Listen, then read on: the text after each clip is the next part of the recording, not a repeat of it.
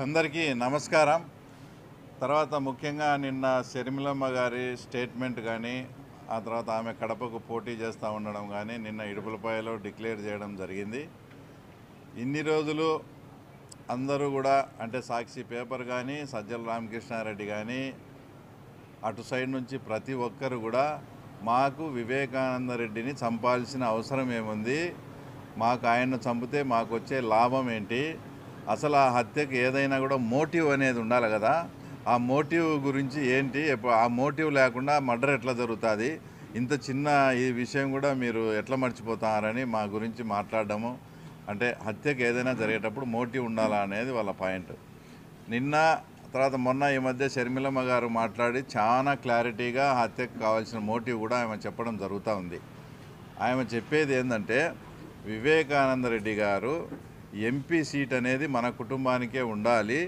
షర్మిలమ్మకే మనం MP seat ఇవ్వాలని జగన్తో చెప్పినప్పుడు ఆయన ఏమన్నాడంటే షర్మిలమ్మ ఒప్పుకోవడం లేదు ఒప్పిస్తే నాకేం ఇబ్బంది లేదని జగన్మోహన్ రెడ్డి వివేకానంద రెడ్డికి చెప్తే వివేకానంద రెడ్డి పర్సనల్గా షర్మిలమ్మ ఇంటికి వెళ్ళి దాదాపు రెండు గంటల సేపు నా మీద ఒత్తిడి తెచ్చి ఖచ్చితంగా మన కుటుంబానికే ఇది కావాలని ఆయన చెప్పడం అప్పట్లో నా నాకు చిన్నాన్న ఎందుకు నన్ను ఇంత ప్రెజర్ చేస్తాడని అనుకోలేదు.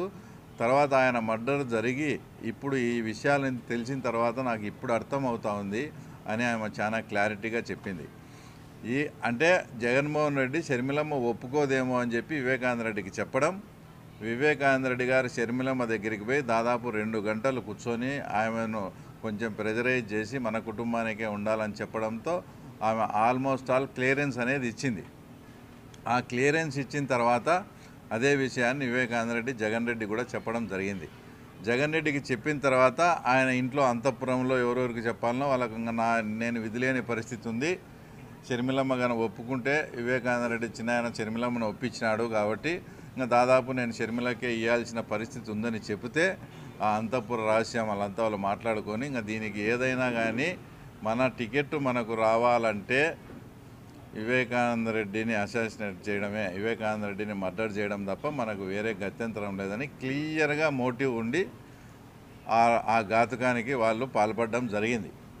ఆమె ఇంకో విషయం ఏం చెప్పి ఏం చెప్పిందంటే నిన్న చాలా క్లారిటీగా అసలు చిన్నాన్న వచ్చి నన్ను భంగపోయి అంతసేపు చెప్పిన తర్వాత ఆ తర్వాత ఇవన్నీ పర్యవసానాలు జరిగినప్పుడు ఆ చిన్నాయన మర్డర్ చేసినప్పుడు ఎవరైతే మర్డర్ చేశారని ఆరోపణలు ఎదుర్కొన్నారో నేనన్నా ఆరోపణలు ఎదుర్కొన్న వాళ్ళని చెప్తున్నా.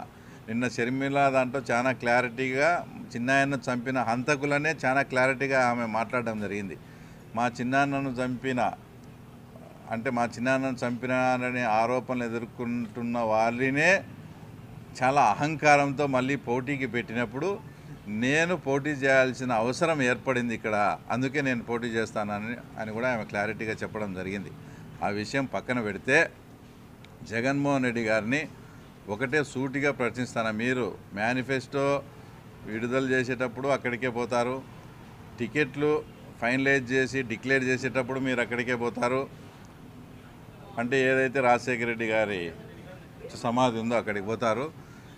నా బిడ్డ అతను మీ బిడ్డను మీ బిడ్డనని చెప్పుకుంటే జగన్ రెడ్డి ఈరోజు రాజశేఖర రెడ్డి గారి బిడ్డ పోటీ చేస్తూ ఉంటే ఒకసారి మీరు కూడా ప్రతి ఒక్కరూ పోయి ఇడుపులపాయకి ఎందుకు ఆయనకు ప్రేయర్ చేసి ఆయన ఆత్మ శాంతి శాంతి చేకూర్చాలని మీరు ప్రేయర్ చేసి అక్కడ విడుదల చేస్తూ ఉన్నారే?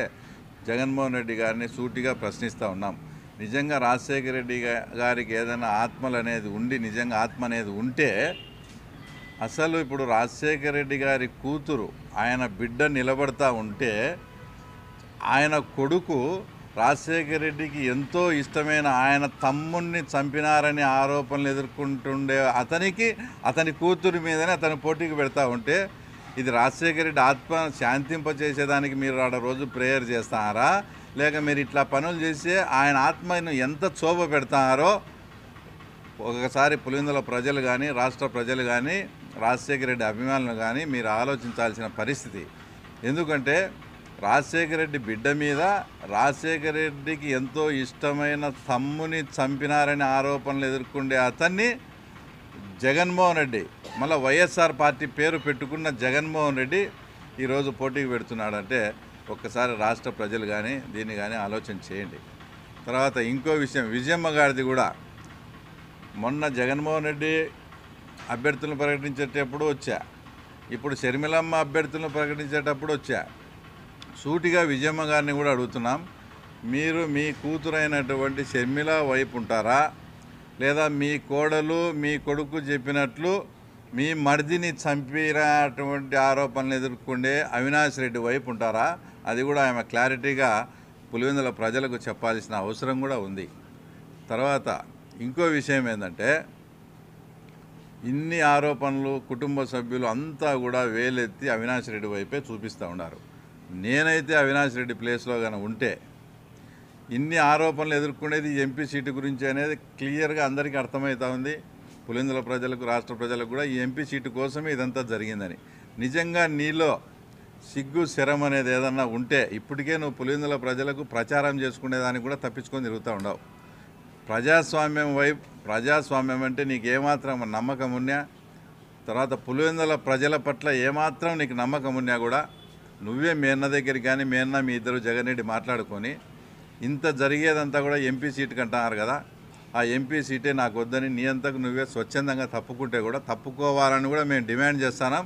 నిజంగా జగన్మోహన్ రెడ్డి కూడా నీలో రాజారెడ్డి రక్తము రాజశేఖర రెడ్డి రక్తం అనేది నిజంగా ప్రవహిస్తూ ఉంటే రాజశేఖర రెడ్డి బిడ్డకు మీ చిన్నాయనను చంపినారని ఆరోపణలు ఎదుర్కొంటే అవినాష్ రెడ్డిని ఎట్లా పోటీ పెడతావు?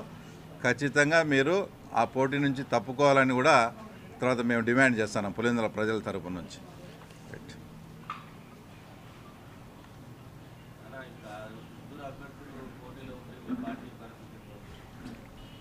ఆమె మా మా వాళ్ళు ఇద్దరున్నా ముగ్గురున్నా కూడా ఆమె షర్మిలమ్మ పోటీ చేసిన తర్వాత ఆయన అవినాష్ రెడ్డి గారు పోటీ చేసిన అది వాళ్ళ కుటుంబ సమస్య మాదిరే ఉంటుంది కానీ నాకు తెలిసి పార్టీల పరంగా ఒకరు వైఎస్ఆర్ అని ఇంకొకరు కాంగ్రెస్ కానీ ఉండదు మాకుండే ఓట్ బ్యాంక్ మాకుంటుంది. తప్పకుండా షర్మిలమ్మ గన బాగా తిరిగి అంతా చేసుకొని వాళ్ళ ఓట్లను చీల్చగలిగితే తప్పకుండా భూపేశ్ రెడ్డి విజయం సాధించే అవకాశం ఉంది.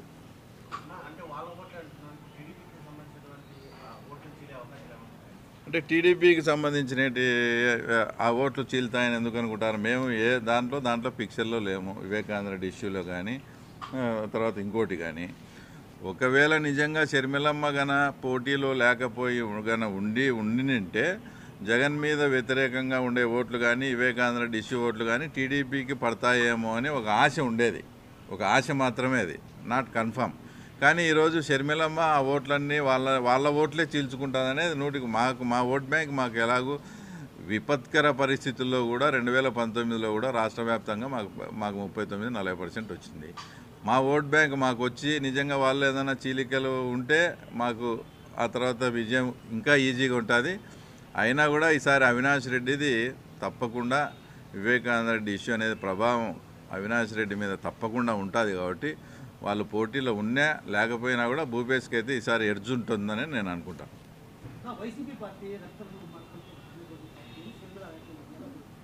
అసలు ఇంకా దాంట్లో ఇప్పుడు నిన్న మీరు షర్మిల మాట్లాడింది కూడా చూడండి.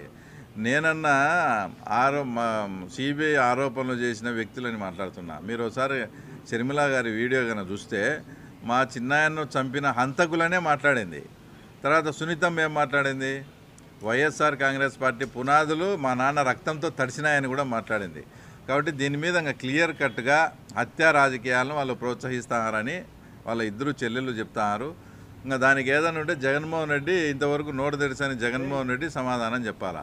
తర్వాత నిన్న ప్రొద్దుటూరులో కూడా మీరు గమనిస్తే జగన్మోహన్ రెడ్డి ఏం మాట్లాడినాడు? ఫస్ట్ టైం అంతకుముందు అసెంబ్లీలో ఏం మాట్లాడినాడు? ఈ కన్ను ఈ కన్ను పొడుచుకుంటుందా అని మాట్లాడినాడు. తర్వాత ఆయన మాట్లాడిన తర్వాతనే సిబిఐలు అభియోగాలు మోపి చార్జ్షీట్ వేసి ఏ ఎయిట్ అవినాష్ రెడ్డి అయినాడు భాస్కర్ రెడ్డి ఇంకా ఇప్పటికీ లోపలే ఉన్నాడు.